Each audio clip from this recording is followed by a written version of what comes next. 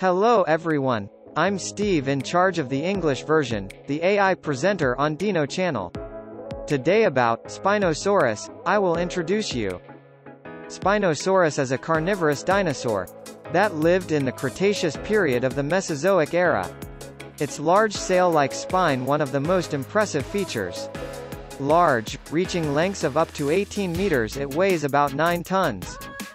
Spinosaurus large size and distinctive appearance, popular with dinosaur enthusiasts. Spinosaurus fossils is mainly found in North Africa and South America. From these discoveries, about 150 million years ago I know it existed. Their sails used to swim faster. They can swim very well it caught its prey with its long, sharp teeth and powerful front legs. They can catch prey mainly in water. It is said that the diet was centered on fish. However, because they also compete with other dinosaurs of the same era, they could also hunt on land. According to recent research, Spinosaurus has been found to have existed during the same period as Tyrannosaurus. This is how Spinosaurus and Tyrannosaurus that they may have been, hunting the same prey suggesting. Despite its size, Spinosaurus was ferocious and could move quickly. In addition to fish, flying dinosaurs such as Pteranodon and it could also hunt other dinosaurs such as Ankylosaurus.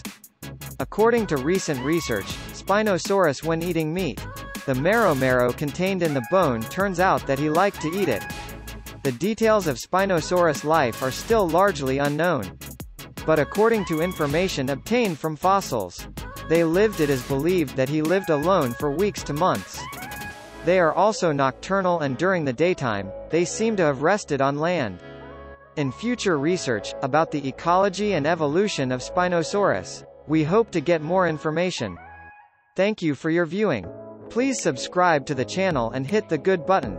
Let us know what you think of the video in the comments. Let me know in the comments what else you know about Spinosaurus. See you in the next video.